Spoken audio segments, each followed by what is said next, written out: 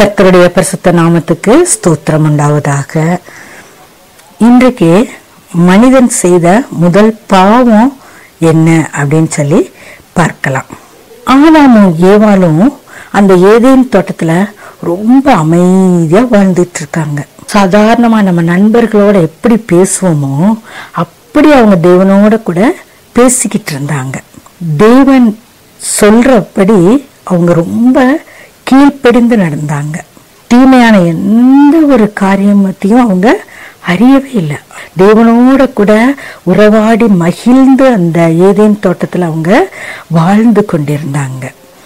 தேவனுடைய கட்டளைகளுக்கு எப்பொழுதும் கீழ்ப்படிந்து இருக்கணுன்றத அவங்களும் கற்றுக்கொள்ள வேண்டிய ஒரு சூழ்நிலை இருந்தது.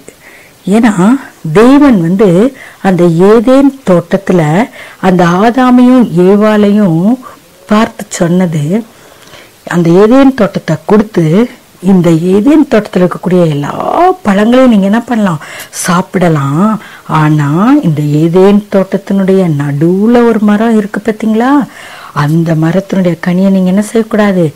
சாப்பிடக்கூடாது. அப்படி நீங்கள் சாப்பிட்டீங்கன்னா நீங்கள் சாவீங்க. அப்படின்னு சொல்லி தேவன் அவங்களுக்கு சொன்னார். அவங்களும் சரி அப்படின்னு சொல்லி தேவனுடைய வார்த்தையை கேட்டுக்கிட்டாங்க. அப்படி அவங்க அங்க இருக்கும்போது அந்த தோட்டத்துல இவங்க மட்டும் இல்லை மிருகங்களும் அங்க இருக்குல்ல? அப்படி அந்த ஏதேன் தோட்டத்துல அந்த மிருகங்களோடு சர்ப்போன்னு சொல்லக்கூடிய பாம்பும் அங்க வாழ்ந்துகிட்டு இருக்கு.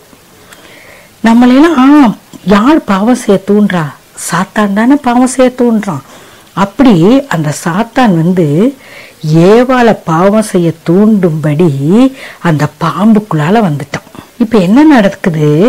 அந்த சர்ப்பம் ஏவாளை பார்த்து சொல்லி கேட்டுச்சு ஏன் தேவன் வந்து இந்த நடுவில் இருக்க மரத்தினுடைய கனியை புசிக்கக்கூடாதுன்னு சொல்லியிருக்கிறாரா?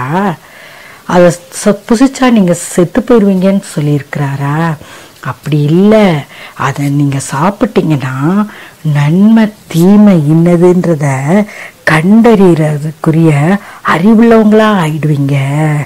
அப்படின்னு சொல்லி அந்த பாம்பு அந்த ஏவாள் இடத்துல சொல்லிச்சு. அப்போ உடனே இவ அந்த யோ சர்ப்பத்தினுடைய வார்த்தைக்கு ஏவாள் வந்து என்ன பண்ணுறா உடனே அதை நம்பிக்கிறா. அந்த சர்ப்பம் சொன்ன வார்த்தையை நம்பி ஓஹோ நம்ம இந்த மரத்தினுடைய கனியை புசிச்சோம்னா நம்ம அறிவுள்ளவங்களை ஆயிடுவோமோ அப்படின்னு சொல்லிட்டு அவள் அந்த ஜீவ விருட்சத்தின் கனியை போய் பறித்து தான் சாப்பிட்றான் தான் சாப்பிட்டுட்டு பிறகு கொண்டு வந்து ஆதாமுக்கும் கொடுத்துட்றான் ஆதாமும் என்ன பண்ணிடுறான்? அந்த கனியை வாங்கி சாப்பிட்டு அன்னைக்கு சாயங்காலம் என்ன நடந்தது? தேவன் அந்த ஏதேன் தோட்டத்துக்கு வர்றாரு. எப்பவும் தேவன் அந்த இடத்துக்கு வரும்போது இந்த ஆதாமும் ஏவாலும் அங்கே போய் தேவனோட கூட பேசிக்கிட்டு இருப்பாங்க. ஒரு நண்பனை போல பேசிக்கிட்டு இருக்கக்கூடிய அந்த ஆதாமும் ஏவாளும் அன்னைக்கு அந்த இடத்துக்கு வரல. காணோம். தேவன் வந்து ஆதாமே ஆதாமே அப்படின்னு சொல்லி என்ன பண்ணுறாரு கூப்பிட்டு பார்க்குறாரு. சத்தத்தையே காணும். ஏன் தேவனுக்கு கீழ்ப்படியாம அந்த கனியை சாப்பிட்டதுனால அவங்க என்ன பண்ணியிருக்காங்க? தேவனுக்கு சத்தம் கொடுக்காம ஒளிஞ்சு இருக்காங்க அவங்க ஒளிஞ்சிருக்காங்க. உடனே தேவன் வந்து என்ன பண்ணாரு? அந்த கடவுளோட கட்டளைக்கு அவங்க கீழ்ப்படியாமல் போனதுனால அவங்கள்ட்ட சொன்னார் ஆதாம்கிட்ட ஏவாள்கிட்டையும் இனி நீ உங்களுக்கு எங்க இடம் இல்லை? இந்த ஏதேன் தோட்டத்தில் இடம் இல்லை. நீங்கள் இந்த ஏதேன் தோட்டத்தை விட்டு உங்களை நான் வெளியில் அனுப்பிச்சிடுறேன். ஏன்னா என்னோடய வார்த்தைக்கு நீங்கள் கீழ்ப்படியாமல் போனதுனால நீங்கள் சாபத்தை தான் பெறுவீங்க அப்படின்னு சொல்லிட்டு ஏவாளை பார்த்து சொன்னார். நீ ரொம்ப கஷ்டப்படுவ. நீ ரொம்ப வேதனைப்படுவ உன்னோட கணவன் தான் உன்னை என்ன செய்வான்? ஆண்டு கொள்ளுவான் அப்படின்னு சொல்லி ஏவாளை பார்த்து சொன்னாரு. அப்போ ஆதாம பார்த்து சொன்னாரு நீ உன் மனைவி பேச்ச கேட்டு அவ் நான் சாப்பிடக்கூடாதுன்னு சொன்ன அந்த பழத்தை நீ ஏவாள்கிட்ட இருந்து நீ வாங்கி சாப்பிட்டல்ல. அதனால நீ உயிரோடு இருக்கிற நாள் வரைக்கும் நீ உன்னோட வேர்வை சிந்த உழைச்சி அதனுடைய பலனைத்தான் நீ என்ன பண்ணணும்? சாப்பிடணும். அப்போ அப்படி நீ கஷ்டப்பட்டு உழைக்கும் போது அதுக்கு இடையூறா முள்ளும் குறுக்கும் இருக்கும் அப்படின்னு சொல்லி ஆதாம சொன்னார். அதோட மட்டும் இல்லை இந்த ஏவால வஞ்சிச்ச சர்ப்பம் இருக்கு பார்த்தீங்களா அந்த சர்ப்பத்தையும் தேவன் என்ன பண்ணார்? சபித்தார். திரும்ப என்ன பண்ண முடியல? அந்த ஆதாமும் ஏவாலும் அந்த அழகான ஏதேன் தோட்டத்துக்குள்ளால வாழ முடியல.